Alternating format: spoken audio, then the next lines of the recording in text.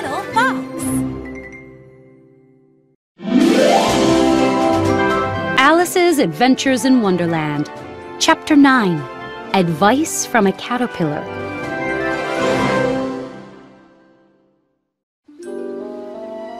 At last, the caterpillar spoke to Alice.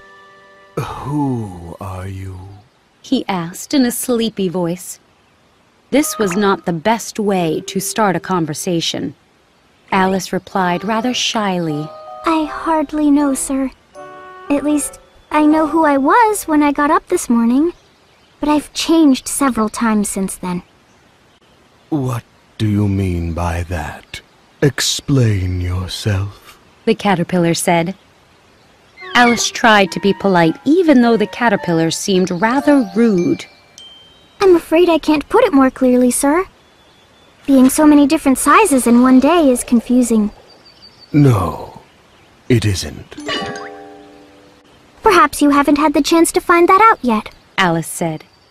When you change into a butterfly, you'll probably feel quite strange. I will not. The caterpillar said. You may feel differently than I do, Alice said, still trying to be polite.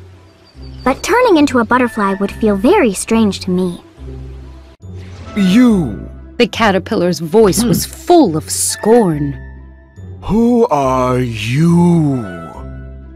and that brought them right back to the beginning of their conversation. Alice felt annoyed by the caterpillar's remarks. She stood as tall as she could and looked straight at him. I think you should tell me who you are first. Why? This was another puzzling question that Alice couldn't answer. The caterpillar was in such a bad mood that she wanted to leave. She started to walk away. Come back! The caterpillar called after her.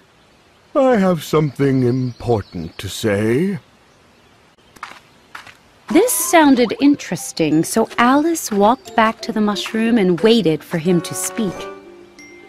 Don't lose your temper. The caterpillar said.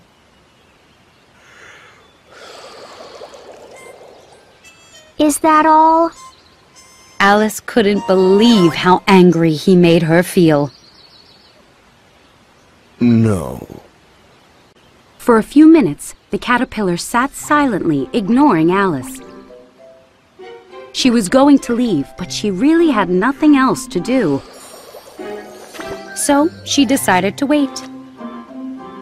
Perhaps the caterpillar would have something interesting to say after all. Finally, he spoke to her again. So, you think you've changed? Oh, yes. Alice said, happy that he was listening at last. First I'm bigger, and then I'm smaller. I don't stay the same size for more than a few minutes. The caterpillar looked Alice up and down. What size do you want to be? I don't really care. I just don't like changing so often, you know? No, I don't know. The caterpillar replied. Alice said nothing. She never met such a disagreeable creature, and she was losing her temper. The caterpillar interrupted her thoughts. Are you happy now? I'd like to be larger because three inches is such a horrible size. Three inches is the perfect height. The caterpillar stretched upright as he spoke, showing that he was exactly three inches high. But I'm not used to it. Alice moaned, You get used to it in time. said the caterpillar. Alice waited, hoping the caterpillar would say something more. Eventually, he yawned twice and shook himself. Then he got down from the mushroom.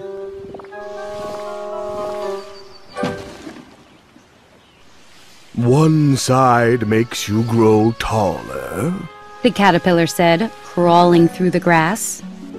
And the other side makes you smaller. Alice wondered what in the world he was talking about. One side of what? The other side of what? She thought. Of the mushroom.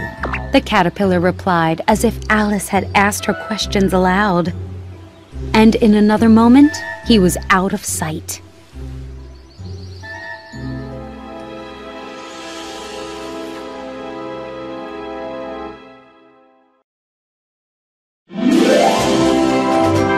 Alice's Adventures in Wonderland, Chapter 10 Eating the Mushroom.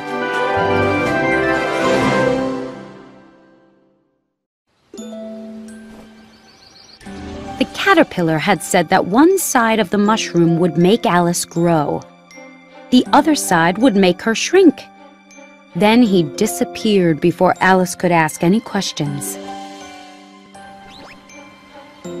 Alice studied the mushroom.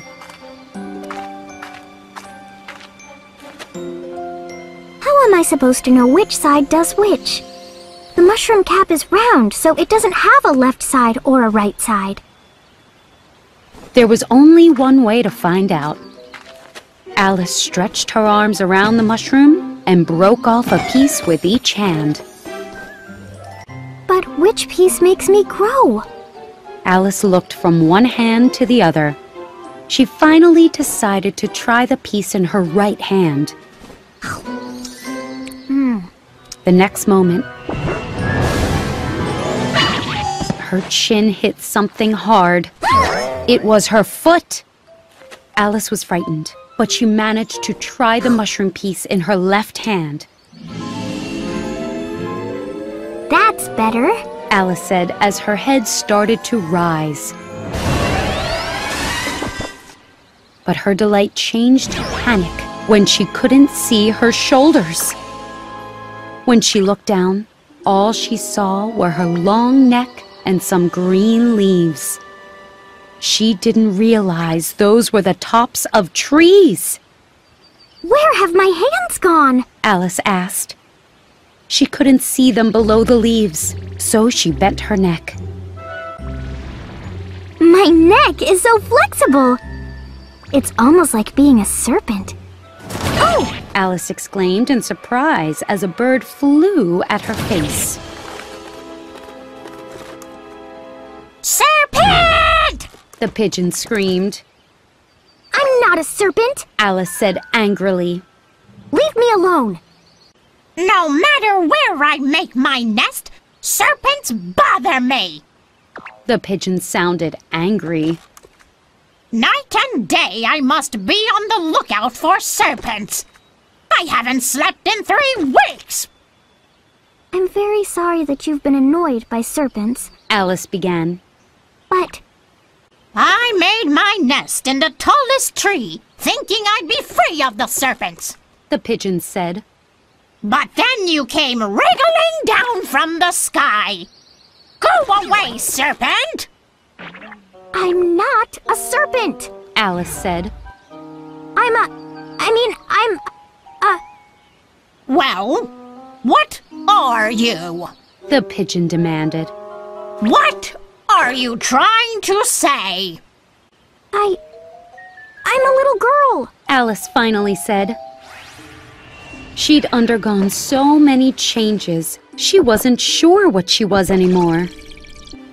I've seen lots of little girls, but never one with such a long neck. The pigeon looked at her skeptically. No, you're a serpent, and you can't deny it. Next, you'll be telling me that you've never eaten an egg. I have eaten an egg. Alice admitted, for she was a truthful child. Little girls eat eggs as often as serpents do. I don't believe that. The pigeon said firmly. And whether you're a girl or a serpent, you're looking for eggs. I'm not looking for eggs. But if I were looking for them, I wouldn't want yours. Alice stamped her foot and the ground shook. I don't like raw eggs! Then go away! The pigeon still sounded angry as she settled into her nest again. Alice tried to crouch among the trees, but her neck kept getting tangled in branches. I need to get back to my original size. She said to herself.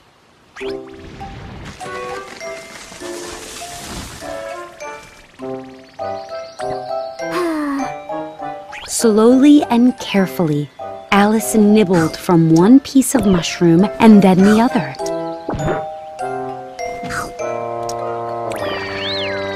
At last, she was the correct size. That's much better. Alice said as she began to walk through the woods. Suddenly, she came upon a space surrounding a house about four feet high. I don't know who lives there, Alice said. but they're sure to be smaller than I am. And I'll frighten them at this size. So Alice ate some more from the mushroom until she was only nine inches high.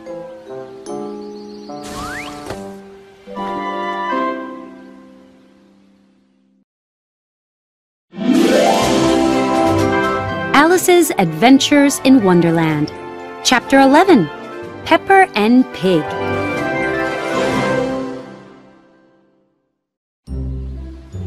Alice stood outside the house, unsure what to do next. Suddenly, a footman in uniform ran out of the woods. The footman had a face like a fish. He knocked on the door, which was answered by another footman. This one had a round face and eyes like a frog. Alice noticed that both wore curly, powdered wigs.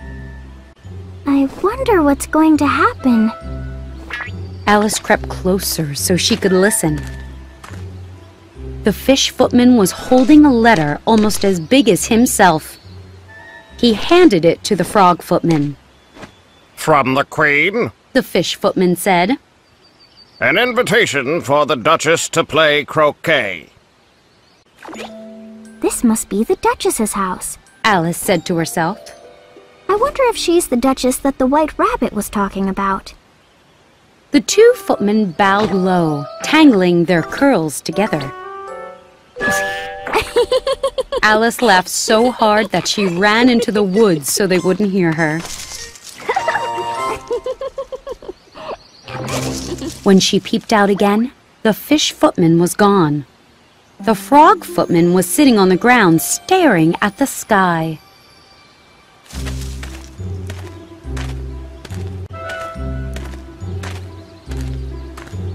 Alice went to the door of the house and knocked quietly. There's no point in knocking. The frog footman said. First, I'm out here with you, so I can't open the door. Second, they're making so much noise inside, no one can hear you. Alice put her ear on the door to listen. The frog footman was right. There was a constant howling and sneezing. Every once in a while came a great crash. That sounds like dishes breaking. Alice said to the frog footman. But how will I get inside? The frog footman had no idea. I'm gonna sit out here all day. he said. Just then the door opened and a plate flew outside.